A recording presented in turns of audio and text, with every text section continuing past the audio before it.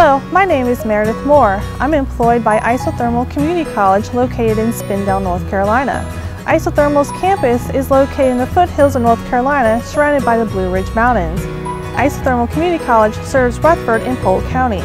I manage Career and College Promise, which allows eligible high school students to enroll in college classes while they're in high school. High school students can earn up to 3 to 62 hours of college credit. 80% of the high school population are first-generation college students.